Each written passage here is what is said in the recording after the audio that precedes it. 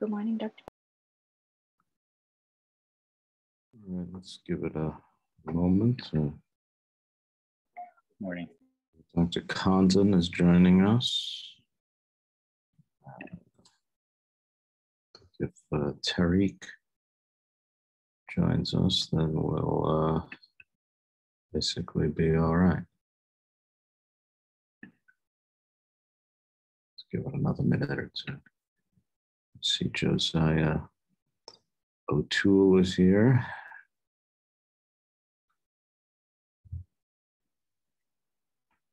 Good morning, Dr. Pass. This is Josiah. Good morning, Josiah.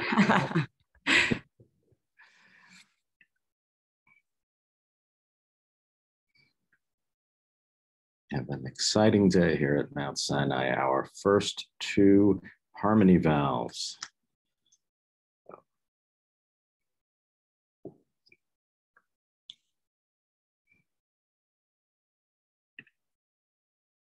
Last night we did a dry run already.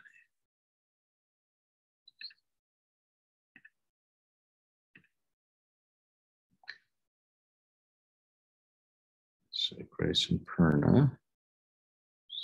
Okay. So I don't see David. I guess David may, oh, there's David is joining us. And I don't see Tariq. Is Tariq sitting next to somebody, one of the fellows, or is he? Yeah, he's just logging on in right now. Okay, hi, Dave. All right, before we get going, uh, this is going to be a brief talk today. David and I had quite the weekend. I want to start by congratulating Dr. Barris, who did yeoman's work. Very, very challenging weekend with a lot of work to do. I don't think he got two hours of continuous sleep the entire weekend. Uh, David, thank you very, very much. Did a great job. Thank you so much, Dr. Pass, and thanks so much for the help and the teaching. Of course. All right, so uh, we're going to start at the uh, end of the last talk and sort of segue into therapies. And I apologize, it's going to be somewhat brief, but we were both all a little bit busy. But um, this weekend, so just to remind you from the end of the talk, again, when we're talking about the mechanism of arrhythmias, we I generally think of the level of the heart. And again, when I'm looking at an ECG of an arrhythmia, in my mind's eye, I'm sort of working from the top down. And uh, at the, you know, and I I mechanistically divide them into automatic arrhythmias and reentrant arrhythmias. So at the level of the SA node, when we think about automatic arrhythmias, we're talking about just sinus tachycardia. And then at the level of the SA node, there is actually a condition called SA nodal reentrant tachycardia, which stops and starts and ends uh, abruptly, but has a P wave morphology that is exactly the same as sinus. And so on the surface electrocardiogram, um, if you didn't see the stop and start, you would not actually realize that this is a reentry. It's an unusual arrhythmia, but I have seen it maybe two or three times. Um, at the level of atrial muscle, in terms of automatic arrhythmias, we think about ectopic atrial tachycardia, uh, where we've discussed as a single focus that's firing at a rate faster than the sinus rate, or multifocal atrial tachycardia, which is sometimes in pediatrics we refer to as a so-called chaotic atrial rhythm. That's the more common term used. Uh, and the similar to EAT, except in chaotic atrial rhythm, there are typically multiple foci, uh, so multiple different P wave morphologies. When we're talking about reentry at the level of atrial muscle, we're thinking about atrial flutter or atrial fibrillation. Both of them are reentrant arrhythmias of different sorts. At the level of the AV node His bundle, we're thinking about junctional ectopic tachycardia. Uh, in fact, I think I've mentioned to you previously that JET or junctional ectopic tachycardia in some countries, particularly in Europe, is referred to as His bundle tachycardia mm-hmm. because it is believed that the bundle of His has enhanced automaticity and is causing the uh, tachycardia. And then, uh, we, of course, we all are familiar with AV nodal reentrant tachycardia, which is a reentrant arrhythmia of the AV node. When we're thinking about AV reciprocating arrhythmias, there is no such thing as an automatic one, although I guess the closest thing to that might be a Mahaim fiber. Some Mahaim fibers do have automaticity associated with them, causing a QRS that looks like a, a PVC. And then um, when we're thinking about reentrant arrhythmias, we're thinking about WPW or uh, concealed accessory pathways. Any kind of accessory pathway is causing uh, atrioventricular reciprocating tachycardia of some sort. And then at the level of the ventricles, VT or VF can be automatic or reentrant. So um, typically when we think about reentry in the ventricles, we're thinking about either reentry amongst the bundle branches, or sometimes when patients have had a myocardial infarction in the adult world, they can have a reentrant tachycardia uh, as well. Okay, so let's move on now. So I thought we would just briefly today talk about uh, treatment for arrhythmias. And then once we're done with today's talk, we'll then go on to next week to uh, our usual unknowns and uh, discussion of various different arrhythmias and arrhythmic agents. So this is a very general discussion today. So um, when we're thinking about uh, drug therapy, there are uh, multiple drugs that are effective. And uh, it's one of the things that makes being an electrophysiologist relatively easy because pretty much all the drugs have some level of efficacy and can make an argument to start anything for anything.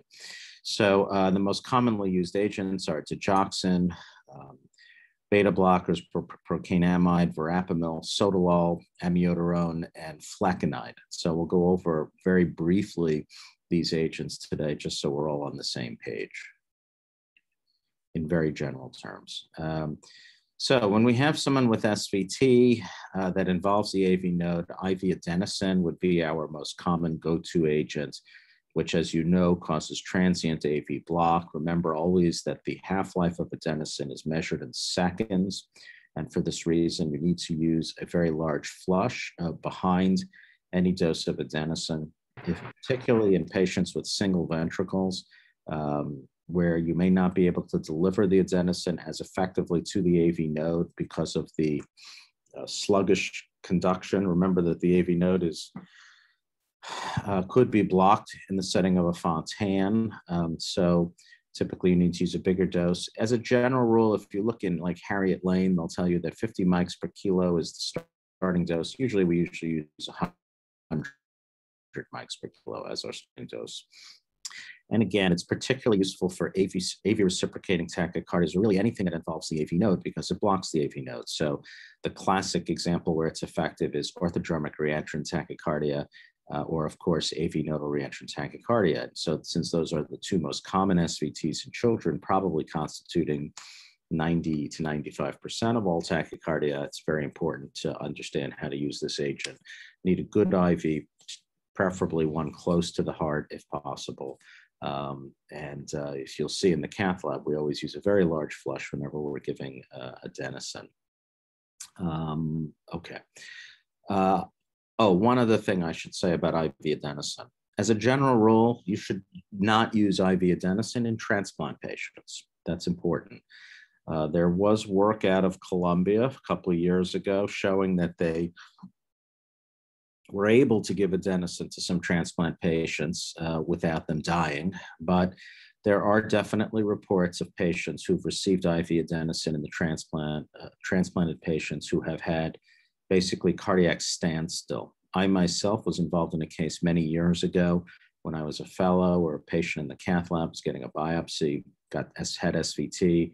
The attendant gave a dose of adenosine and the patient arrested and uh, actually we were unable to resuscitate that patient.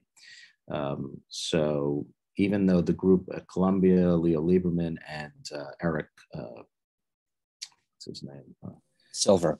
Oh, thank you. Eric Silver uh, have uh, published this saying that it is um, it's kosher to do that. And I believe what they wrote that it worked in their case. It does not, unfortunately, the numbers of patients in that study unfortunately not large enough to really definitively say it's safe. All I can say is that they gave it and nothing bad happened in those particular patients. But um, it, it, there are multiple explanations for why it may be dangerous in that patient population. But I think the bottom line is we would more commonly use the next agent on this, this uh, slide, which is verapamil. Uh, verapamil, uh, just so you know, uh, was used for many decades as the acute therapy for SVT in adults and even in, in older children. Um, it works fairly well, takes about five to 10 minutes to see the effect, um, but it does have very potent negative inotropy. And um, it has been associated with cardiovascular collapse, particularly in infants and newborns. Um, now, uh, for that reason, IV verapamil should never be used in a newborn or in a, very small infant. Um, so uh, that is, uh, you know, I guess you, today, unfortunately, we would consider that to be uh, worthy of the term malpractice.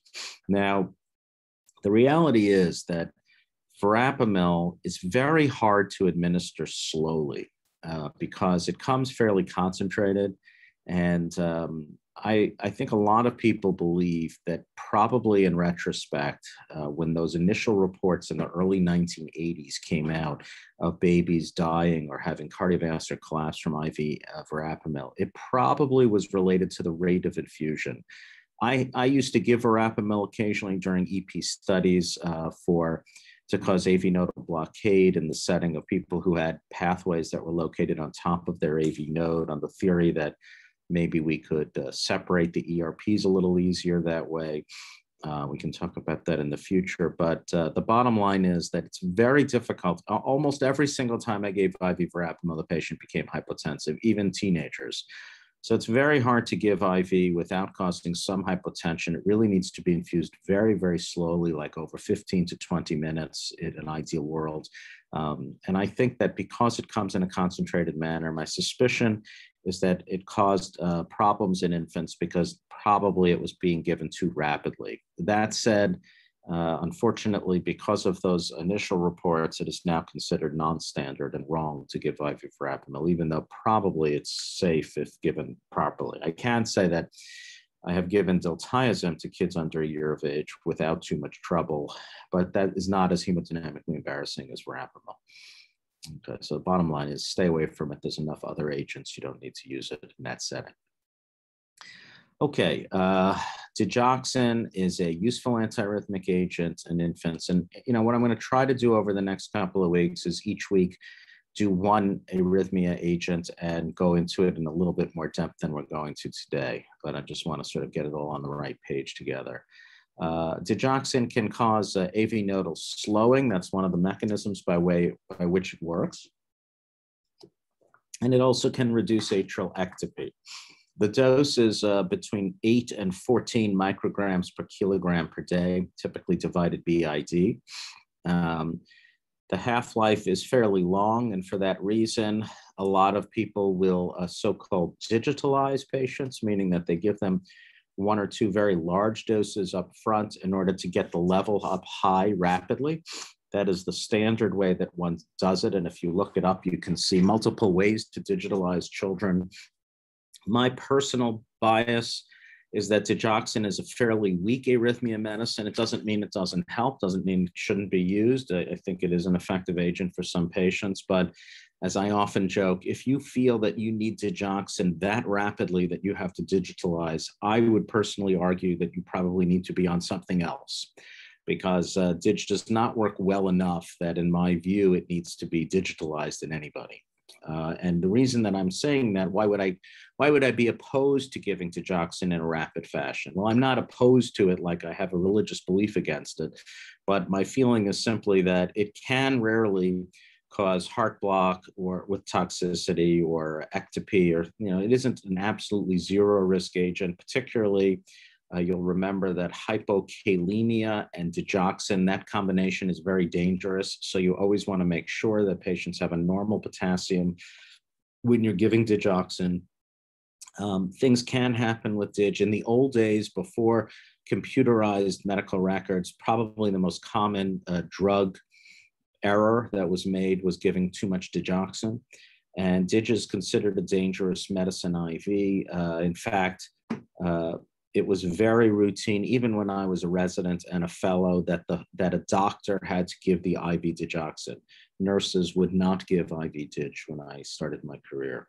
Um, and in fact, I have seen patients get digoxin toxicity from receiving 10 times the dose because people uh, keep forgetting the whole microgram uh, issue, which is one of the one of many, many reasons why electronic medical records are superior to the old days when we wrote it by hand. Okay. Beta blockers are a useful alternative antiarrhythmic agent. Uh, they also cause AV nodal slowing and reduce atrial ectopy, albeit in a totally different manner. Uh, commonly used agent is Inderal, but there are in infants. Um, it can be associated with low glucose levels, and so we will get dextrose sticks a few times when starting this agent. Uh, it's important, and it's and really one should not start this agent as an outpatient uh, unless there's an easy mechanism for monitoring blood glucose levels in a small infant, that is. Okay. Um, beta blockers are effective about 60 to 75% of the time. Um, and uh, they have a very low side effect profile. So oftentimes people wonder why do we use beta blockers for SVT in children if they're only effective about 60 to 75% of the time? Well, the answer is again, they have a very low side effect profile. They're generally well tolerated. And because SVT normally, particularly when it's well recognized by the family, uh, is uh, not life threatening, we would generally go with a less, uh, a lower side effect profile drug, even though it may not be 100% efficacious, on the theory and the truth that as we get into higher level agents, the risk for proarrhythmia or other side effects grows. And so, you know, it's like anything else. When you have a ther- when you have a, a disease that is not as dangerous, um, you can be a little bit less aggressive in therapies, at least initially. Calcium channel blockers have a similar efficacy to beta blockers, a fairly low side effect profile. Verapamil would be the most common. We don't really see very many kids on verapamil um, mostly because we have newer agents, but uh, verapamil is a good, a good agent. The reason we also don't use it that much in children is because it comes in a fairly large adult size, and so it's a little harder to administer to kids. Um, digoxin uh, is not as effective in older patients as it is in infancy, so it's not typically used in this age range. Um, there are rare, there are still cardiologists who use it as an SVT therapy in older patients but I think it would be fair to say that most uh, have not do not use it in the newborn period. The other thing I should mention about digoxin is, uh, as we discussed last week, digoxin can enhance accessory path antegrade conduction and at least in theory enhance the risk for sudden cardiac death in the setting of WPW.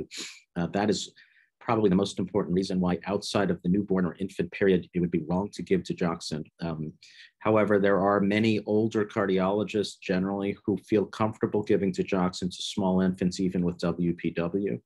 My personal bias is that since there are other agents, why would I take that very rare risk of potentially enhancing the chance for sudden death with DIG? But I don't think it would be wrong to give digoxin to a child under a year of age, even if they had WPW. Though generally speaking, I usually will lean on other agents in that setting. Okay. If those agents don't work or the simple stuff, uh, we will then go on to other agents. Um, so Sotalol is a class three agent, meaning it has a potassium channel blockade effects. It is also a beta blocker. And um, sometimes people forget, they think that sotalol is just a beta blocker. It is not. It is a combination agent, beta blocker, and a class three agent. Uh, it is a very potent beta blocker, though. Um, and the interesting thing about sotalol is that at the lower dose range, sotalol, you get almost the maximal beta blocker effect of the agent. Um, so typically the dosing for sotalol is 80 to 160 milligrams per meter squared per day. Uh, it's typically divided Q8 in small children or, or Q12 in uh, adult sized patients. Um, but at the lowest end, at the 80 per meter squared per day, it's typically got a lot of beta blocker effect, almost all of the beta blocker effect, even if you were to go up higher. But you have very little class three effect as you go higher, you get more. So, in my experience, and I think in that of most people, when using sotalol, you end up needing to go higher in the dose uh, in order to see the uh, class three effect. And in fact, the group in Texas has reported using doses as high as 200 milligrams per meter squared per day. Um, but sotalol does have a, a, definite incidence of proarrhythmia. All class three agents do. So one has to monitor. Anyone who starts sotalol typically is monitored for at least 48 hours inpatient. on some form of telemetry in order to uh, assess for uh, possible proarrhythmia. Um, and uh, of course, just like any beta blocker, particularly in small infants, we would be worried about hypoglycemia. Flecainide uh, is a class 1B sodium channel blocking agent. It's also a very effective antiarrhythmic agent for SVT, uh, particularly useful in automatic tachycardias such as ectopic atrial tachycardia. Um, but it is probably of all of the major antiarrhythmic agents that we use with some rel relative routine nature, I would say flecainide probably has the highest incidence of proarrhythmia. I don't know if any of you are aware of the so-called CAST study. Um, this was a study that was performed in adults in the, uh, I think it was really in the early 90s. You know, when you have, uh, perhaps you're aware, when you have a heart attack, myocardial infarction, the uh, most common reason you die is because you end up getting VF or VT related to the injury to your myocardium. Um, and so in the early 90s, there was surprisingly little evidence based treatment. And so cardiologists would basically try anything for these arrhythmias. And uh, pretty much what you got on was a, basically a random thing based on what the cardiologist thought was effective. And it turned out that when somebody uh, you know, sort of carefully and systematically studied what the outcomes were of patients after myocardial infarction with coronary artery disease uh, were placed on flecainide, that they died more, more commonly on flecainide than off flecainide. Um, that it was in fact associated with an enhanced risk for dying. Now, is it possible? It was a retrospective type of study, sort of a, a case control retrospective study, so it wasn't the most robust study of all time, but it was all that they had at the time. Is it possible that the doctors were only using flecainide in the worst patients? Possibly, but I think um, just like the story of verapamil with newborns, flecainide really uh, should never be used in patients who have coronary artery disease. And so um, uh, it's gotten a bad rap that way. But in young patients, such as our patients, uh, it is a very reasonable agent. One of the problems with flecainide, though, uh, is that it has to be compounded in small children. And um, the problem with compounding this agent is that the therapeutic index of flecainide is fairly narrow. And so uh, if the parent is not careful about shaking the bottle before every dose, when the patient is at the bottom of the bottle, it is not uncommon that patients can get overdosed in flecainide. And an overdose in flecainide can truly be life threatening. Um, and at some point, we'll go over how one treats an overdose of flecainide. But the bottom line is, um, it always frightens me to give flecainide, particularly to infants, because of concern that it can be overdosed. And I have seen it overdosed even in a hospital setting multiple times. Amiodarone uh, is um, one of the most potent antiarrhythmic agents that we uh, have. Um, it is uh, a class three agent similar to sotalol in that it has uh, potassium channel blockade agents. But um, as the marketing for Amio used to say, it has all four Vaughan William classification effects. So it's a calcium channel blocker, a beta blocker, um, a uh, sodium channel blocker, and also a potassium channel blocker. Um, it's an extremely effective antiarrhythmic agent, and it's uh, but it has a very long half-life. Uh, in adults, the half-life is 45 days. Um, it's that's probably number one or number two longest half-life drugs known to mankind, um, and so uh, when we are starting amiodarone in patients, we need to load them for a minimum of five to 10 days because of the very hot, long half-life of this agent. Um, one of the nice things about amiodarone is it has actually a very low incidence of proarrhythmia. So despite the fact that it has all of these various electrophysiologic effects, amio has a very low incidence of proarrhythmia. And that is one of the uh, reasons why it is a commonly used agent. Uh, we'll talk about this later on, but the biggest concern with amio in the short term, particularly in infants, is that when it's given IV, particularly while loading, uh, there is about a 2 to 5% incidence of cardiovascular collapse, uh, which is an idiosyncratic reaction that is believed to be related to diluent that IV amio comes in. Um, so we always want to be careful when we're giving amio, particularly to young infants, uh, IV. There's a very high uh, side effect profile uh, for amio for non-cardiac side effects, can cause pulmonary fibrosis, it can cause liver dysfunction, thyroid, it can cause hyper or hypothyroidism, uh, it can cause skin discoloration, particularly in the setting of sun exposure. So we always tell all patients on amio that they should avoid direct sunlight and use uh, sunscreen very aggressively. It can have effects um, largely on the cornea. Uh, in fact, basically 100% of patients who take amiodarone have microdeposits on the cornea, which do not affect vision and which all resolve upon stopping amiodarone. Um, very rarely it can cause retinal uh, uh, issues. And most ophthalmologists think we're overkilling it by uh, calling an ophtho consult or evaluation for everyone on Amio, but probably that should be done. So we always measure, uh, particularly in an older patient, we measure PFTs, liver functions, and thyroid functions before we start this agent, and we follow those on anybody who is on chronic amio all of the things I've described as complications of amio are thankfully reversible with the exception of pulmonary fibrosis. And that is the reason why you cannot put somebody chronically on amiodarone unless they're very old. So it's not uncommon to see a 90 year old who maybe has AFib or some other arrhythmia to be put on chronic amio on the theory that when you're 90, if you live five more years, you've done pretty well and it's unlikely to get too sick from the side effects of amio. But amio is not a good long-term agent for basically almost any of our patients, even ACHD patients. It's not an unreasonable agent in the short term. It's a very safe agent. It can be given once a day, in fact, because of the half-life being so long. So it's very easy for parents to administer amio, particularly for infants. And in fact, in some countries, amio is the first line of therapy for SVT in babies on the theory that it's safe and short term and um, is easy for parents to administer. And it's always fascinating to me that when you have country, uh, patients from different countries, uh, even in developing nation, am, nations, amiodarone is typically very easily available. Um, some of the other agents not as easy. And so uh, you would be surprised at how many patients are, are on amiodarone. Um, so a good agent, but not a good long-term agent.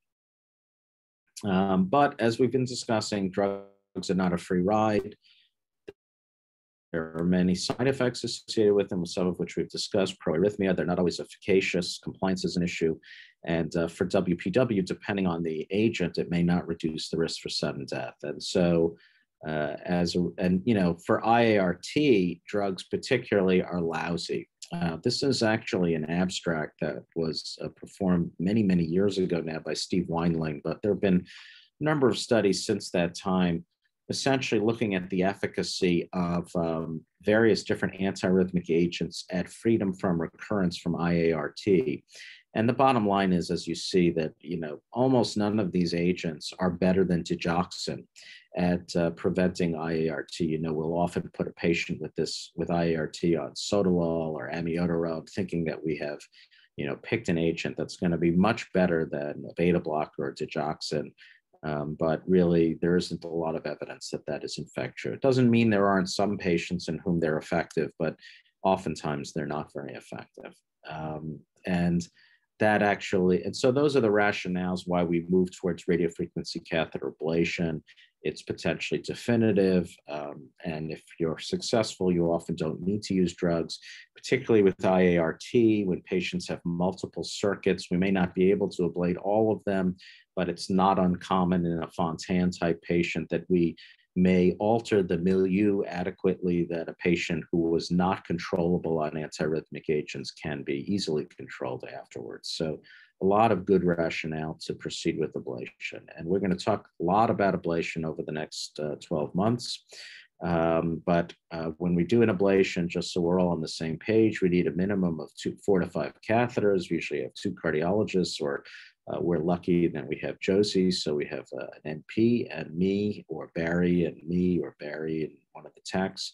There's usually at least one nurse, one cardiovascular tech, um, we have to have a computerized analysis. We have to have fluoro, obviously, although increasingly people are trying to do ablations without fluoro entirely. In fact, there are a number of reports of people doing ablations even in a treatment room without a fluoroscope at all. Um, and that's because of the advent of 3D mapping, which allows us in real time to see the catheters. And then, of course, you need a programmable stimulator. Typically, we have a catheter that goes in the coronary sinus, one that's sitting in the area near the bundle of His, one in the right ventricle, one in the right atrium, and then an ablation catheter. And this is just an example of uh, of one. This is actually from a paper from the original uh, description of EAT ablation. And this is a five year old, and we see that with uh, 20 watts of energy. This was in an era before temperature controlled catheters. We had uh, usually with EAT ablations, you see an acceleration of the tachycardia followed by termination. This is an example of a child who has a uh, left-sided accessory pathway and we're V-pacing and we turn radio frequency energy on and within uh, one second, less than a second, we see a change in the ventriculoatrial conduction pattern consistent with a successful ablation.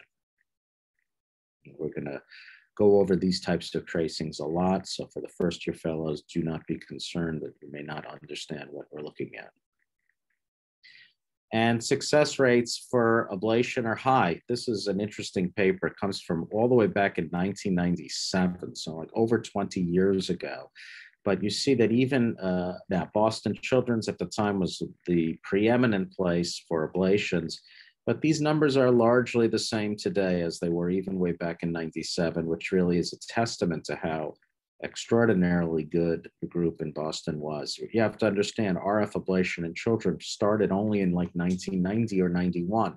So uh, to report in 97 a five or six year experience and have you know success rates in the 90 to 95% range for most ablation types is really quite remarkable.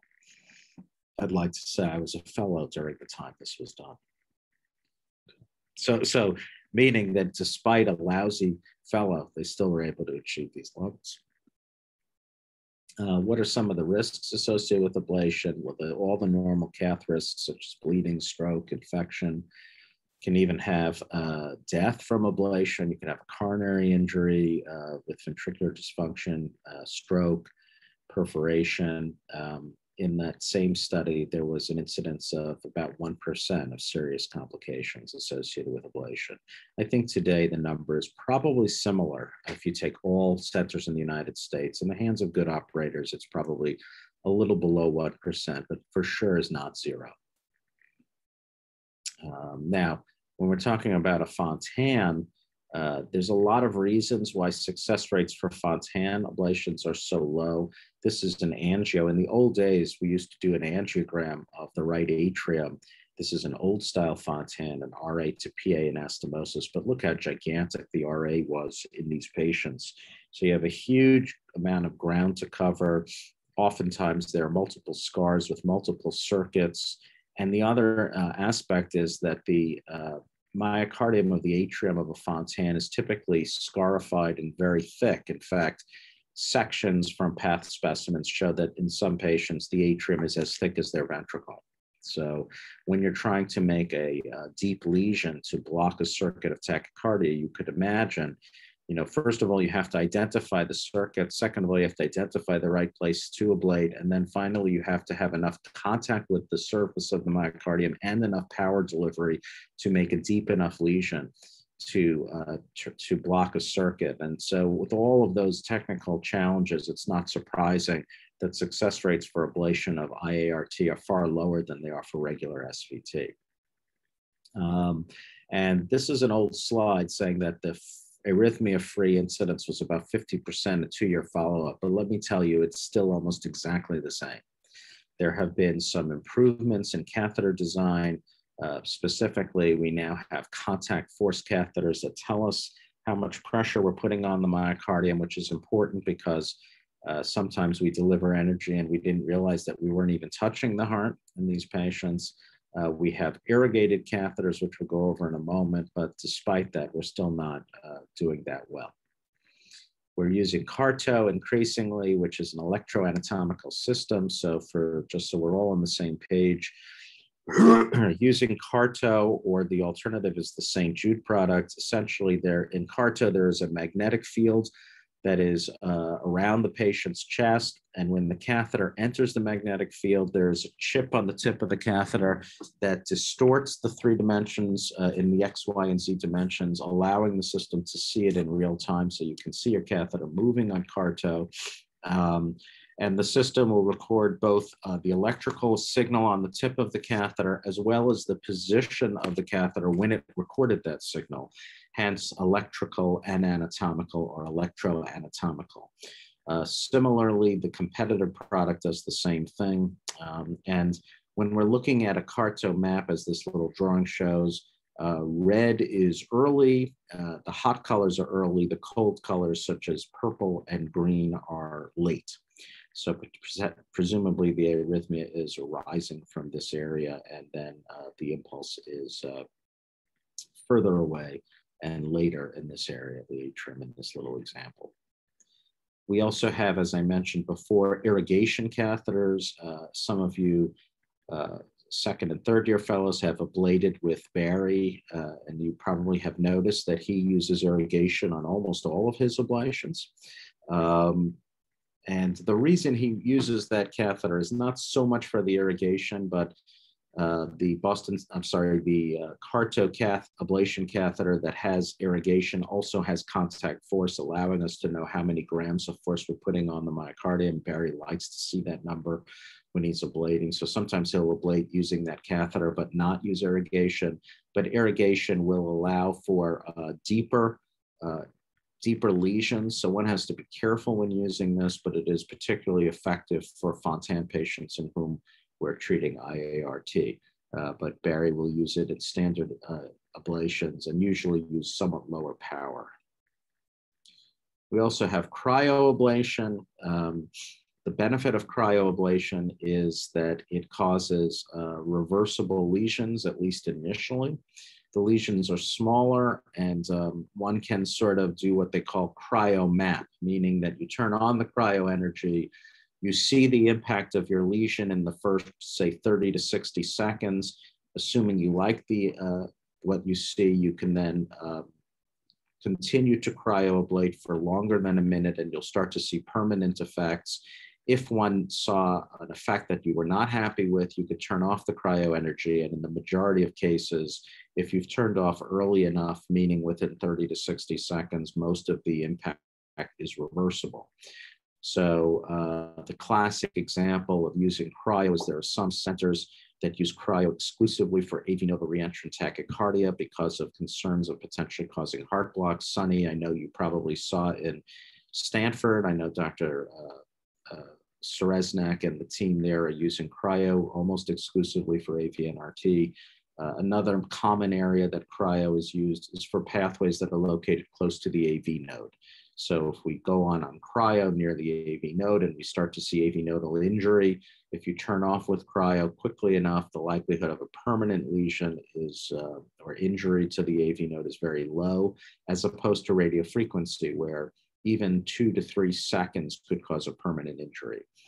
Um, the disadvantage of cryo is that unfortunately it's not as effective as radiofrequency energy. And in virtually every study of cryo, the success rate is about uh, two to 5% lower when using cryo energy. But a lot of electrophysiologists, particularly pediatric electrophysiologists, are happy to accept a slightly lower efficacy rate if the uh, safety is enhanced. So just to uh, recap, uh, we're refining our newer mapping strategies, uh, particularly for IART. We have surgical approaches to IART. You know that when a surgeon performs a cryoablation in the operating room, that's extremely effective. And in fact, there's a lot of evidence that uh, Fontan revision with intraoperative cryoablation is by far the most effective way of treating uh, flutter in the Fontan patient. The problem is it's an extremely large, uh, very morbid operation, so you have to have a really good rationale for doing it. We have newer catheter designs such as uh, contact force, cryocatheters, et cetera. And of course, a lot of you know that I've been very interested and have published a lot on the use of lowering our fluoroscopy, which is largely done through a combination of newer fluoroscopic techniques, but the, uh, also the advent of 3D electroanatomical mapping. And I think with that, we'll stop for today. Uh, and um, next week, we'll start our regular EP conference where we uh, show interesting tracings and have uh, little mini lectures, but mostly interesting tracings. Does anybody have any questions or want to discuss anything? Um, Dr. Pass, I just had a quick question about, um, you mentioned for transplants, you can't use uh, adenosine and um, verapamil is uh, um, not a good choice for uh, infants. So what would be your choice then? Well, um, I think uh, it's a good question. You mean if a transplant patient was an infant and, by the way, had SVT? Yes. Um, I think probably the answer is I would use something like procainamide uh, or uh, potentially even amiodarone. The other thing that's interesting about SVT treatment, you know, in the old days, and this precedes my time as a physician, but if you talk to like Rika Arnott, um, she'll tell you that in the 1970s and the 1980s, if somebody came into the hospital in SVT, it was very routine to put them on digoxin, maybe to digitalize them, and then leave them in SVT. And within 24 hours, they would terminate. Um, and uh, today, of course, we would we would view that as um, you know I don't know. It frightens us to see anybody in SVT for 10 seconds. We have to immediately treat it. But the reality is, in somebody with a normal structural heart, with normal function, there's no harm to you know slowly treating SVT. And so I think the bottom line is I would personally avoid the use of uh, adenosine. I know that Eric and Leo have published these data showing that they had no problems, but I'm telling you, uh, I have seen it myself. It absolutely can happen. Uh, now, we know for sure that the combination of persantine, which is an antiplatelet agent that is used in some centers for transplant patients, and adenosine is a lethal combination that can cause uh, cardiac standstill. Probably that is the most important reason that transplant patients, when they get adenosine, can sometimes die. Um, a lot of centers have moved away from the use of persantine. We do not use it here. I think they just use aspirin. Uh, and that's mostly to prevent coronary thrombosis and stuff like that. But I think the bottom line is we would probably use another agent other than uh, either of those in an infant. The other thing I would say is, for reasons that I'm not entirely sure I understand, it's very unusual to see reentrant SVT in a transplanted heart. I don't know if the ischemic time of taking the heart out and putting it back in is causing these pathways to uh, stop conducting, um, but we very rarely see reentrant arrhythmias in these patients. It's not unheard of, but it's pretty uncommon. Um, interestingly, a couple of years ago, we wrote a paper, a case report where a donor heart had WPW. And uh, based on the surface electrocardiogram of the donor, we could uh, guess that it was in the left lateral position. And we actually had the surgeon surgically cryoablate the pathway uh, in the bucket. Basically, before he sewed the heart in, we had him place one uh, linear cryo lesion on the lateral mitral annulus, and the and the patient was no longer pre-excited. Very interesting case. We we had this very cool uh, title. We called it like um, ablation in the bucket, but the authors, the, I'm sorry, the editors of the journal liked liked the article, but they didn't like our title, and so we had to change it to something like ex vivo ablation of a heart or something like that. But uh, anyways. Um, the bottom line is it's a good question, but thankfully it's very uncommon to see SVT in uh, transplant patients. Thank Any you. Any other questions? Okay. All right, guys, uh, we'll see you in a few minutes and sign out. Uh, hope everybody has a wonderful week ahead. Please speak soon. Bye. Thank you.